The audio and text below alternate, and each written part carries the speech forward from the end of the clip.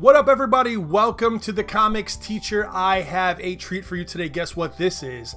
This is a Miss Marvel number one hip hop variant signed by G. Willow Wilson. It is framed, it stays on my wall, and I'm excited because today, for the middle school classrooms, I'm going to be reviewing five Marvel titles. Let's go. You heard it right. Today, I'm going to be doing five Marvel comics for your middle school classroom to have on yourself to teach with. These are all fantastic. The first one I'm going to be bringing to you today is Ultimate Comics Spider Man Miles Morales. Miles Morales hit the scene, and there was really no looking back. People realized how amazing this character would be although some people had a problem like is my new spider-man an eighth grader who is half black and half puerto rican? Yes he is and he's absolutely amazing. Uh, miles slowly picked up steam and then the spider-verse movie came out and it was all over. Everybody realized just how dang cool this character is and this book is no different. So this first trade here deals with miles origin story growing up friends family family drama how he got bit by a spider just like Peter Parker did, all the way ultimately up until how he got his first Spider Man, his first real Spider Man suit, and who gave it to him, which I will not be telling you. But I guarantee you, this book will be sensational in your classroom. Teach with it. Uh, I've written lesson plans around this book. I had a class set of it at, at, at the old school I taught at. This is one for the ages. Ages. Ultimate Comics, Spider Man Miles Morales. You need multiple copies of this book. Before I get to the second one, I just want to say remember that uh, that Spider-Man book was written by Brian Michael Bendis and art by Sara Pichelli. All right, number two of the Marvel titles you need to have in your middle school classroom is Moon Girl and Devil Dinosaur. Moon Girl and Devil Dinosaur is about uh, this really amazing young character named Lunella Lafayette, and Luna is one of the smartest, even though she's about nine, 10 years old, is one of the smartest characters in the Marvel Universe. And she creates all these gadgets and she has a massive lab underneath her school and she is planning. So the thing is, right, there's this thing about these Inhumans. And if you don't know all the story about the Inhumans, there's this cloud. And if you have this Inhuman gene and you breathe in this cloud air, you change and you become something else. Well, she's afraid, like she has the gene and she doesn't want to change so she's trying to find a way to alter herself so that if she ever does encounter this cloud, she doesn't change because she loves who she is and she's afraid of becoming an inhuman. Okay, little backstory there. So this story deals with her trying to find a way to deal with this fear of her possibly becoming um, an inhuman.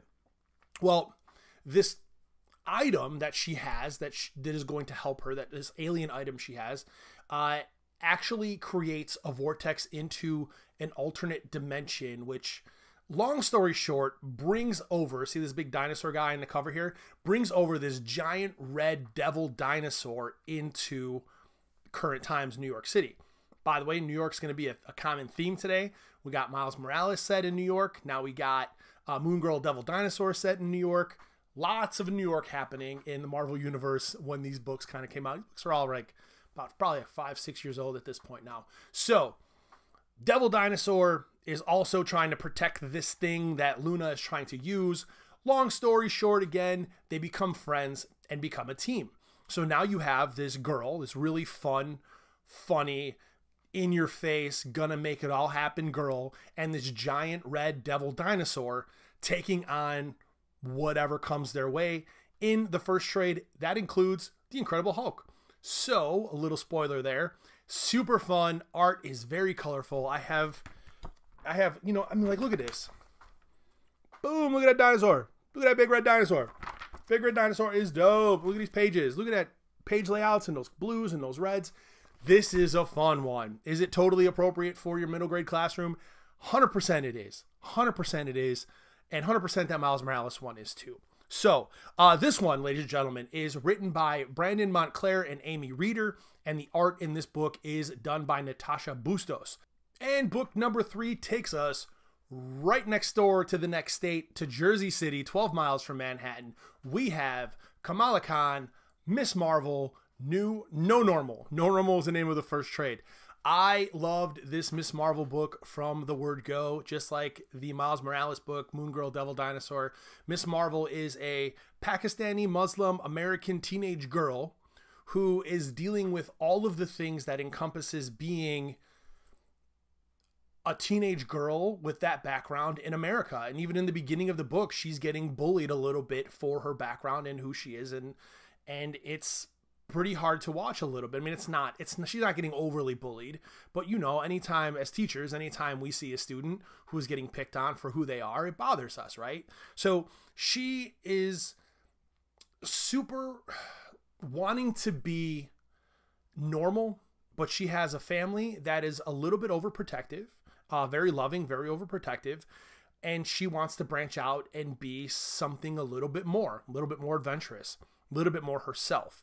Speaking of that inhuman cloud that I mentioned in Moon Girl Devil Dinosaur, Kamala Khan does get engulfed in this cloud and she changes into this superhero. And she is able to do a couple things but the main thing she's able to do is embiggen or get small. So she can make parts of her body or her whole body really big or she can make parts of her body or her whole body really small. And the bigger she gets the stronger she gets because it's relative to her size. So she can do some really cool things with those uh, with with with those powers. Now she also, this is a great book for kids because she is dealing now with this new found power and what to do with it.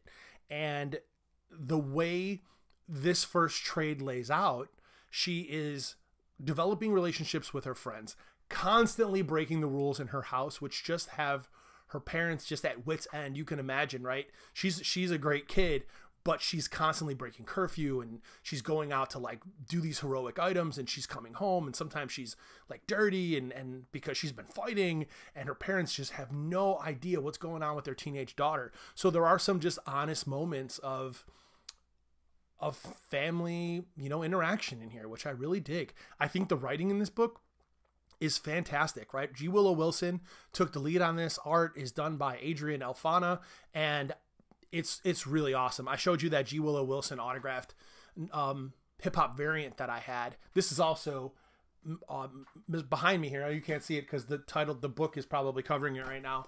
But this is a uh, Miss Marvel Marvel Legend figure I have signed by G Willow Wilson. I got to meet her at Moraine Valley Community College. Shout out to Moraine Valley Community College and Troy, Troy for for setting that up for us. It was an uh, amazing event. They had G Willow Wilson out to talk, do a talk about creating her characters in the book and then there was like a meet and greet after. I brought students. I took students from my school to go meet her and get comics signed.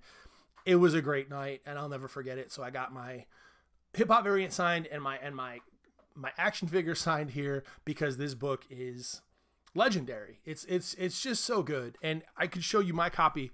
It's got like coffee stains and it's beat up all over the place because this book was read so many times on my shelf completely classroom appropriate it it gets it even gets into some serious some serious issues, especially the things we're dealing with in in the country today. So great conversation starters, topic starters for that book. Highly recommend Miss Marvel, No Normal on your classroom and library shelf. Book number four has a really big team working on this. I think there's like five or six artists, pencilers, writers, inkers, all of the above working on this book. So I'm going to give you can check all that out when you put this on your shelf.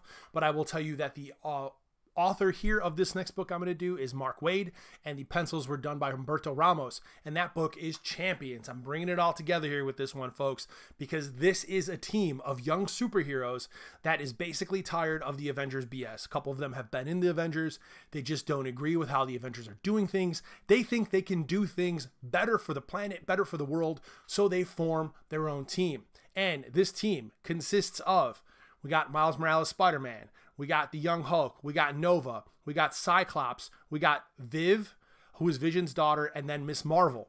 And you can see them all on the cover here. They form this team, not really, I mean, some of them know each other a little bit, but they really trying to figure out who they are and how they are going to do good for the world.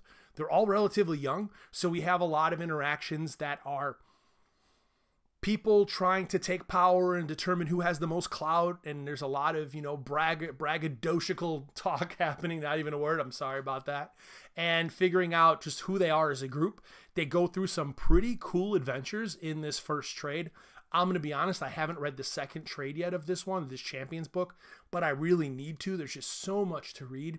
This is a great team up and if the Miss Marvel is hitting it in your classroom, the Miles Morales is hitting it in your classroom, and that Nova character has his own book too, which I have but haven't read yet, then you are going to want to get this Champions book into your classroom along with those other ones. This is a nice kind of like, if you like these two, you'll love this one because the characters the readers, I'm sorry, will have some background on these characters and will fall in love with them again in Champions. Book number five comes to us from the team of Jim Zub and Filipe Andrade, and it is not a superhero book, ladies and gentlemen. If you are like me right now, you are missing traveling, you are missing getting out there, you might be even missing Disneyland. So for this fifth Marvel title, I'm going to be bringing you a Disney book, and I present to you Figment. Figment is the purple dragon that I believe was made famous at Epcot Center a while back. And this book is his origin story. And the man that kind of manifested him into existence, his name is Blarion. And ultimately, this book is about their experiences in this land that Blarion imagines and kind of makes up in this very strange realm as he's exploring his powers and figuring out how to get back home. I will say, out of the five books, this one is the most complex. There is a lot going on, and there's a lot of plot points and story details. This one may not, some of your readers might be like, what? This is a lot going on here. It's definitely appropriate for your middle school classroom, but I will tell you, this is the one that those deeper readers might might appreciate a little bit more. I mean, all of these are for sure, but yeah, this one this one's a little bit more of a thinker. I know I have the book up there, so you can't really see it, but even the art and some of the panel constructions gets a little bit avant-garde in this book, and a lot of it is, you know, pretty out there and and unique in its construction and even its art. So and, and its themes too. Its themes are pretty unique and interesting. So of course you want to read everything you give to your students so you know what's best for some and, and what's not best for others while completely appropriate, this one is the biggest thinker of the five of the day. So, ladies and gentlemen, as I drop my pen, I just want to say thank you again for for watching this video. Uh, like and subscribe. Tell your friends. I have a lot more weeks of these middle school reviews to do. I'm doing 10 weeks. This was week three. I have a really cool one coming up for you next week. I drop these on Wednesdays. I hope you follow and subscribe, and I hope you're enjoying these. Comment below which one you're most excited to read. I'm really interested in your comments. I started rambling there a minute, so I cut myself off just to say, have a great night.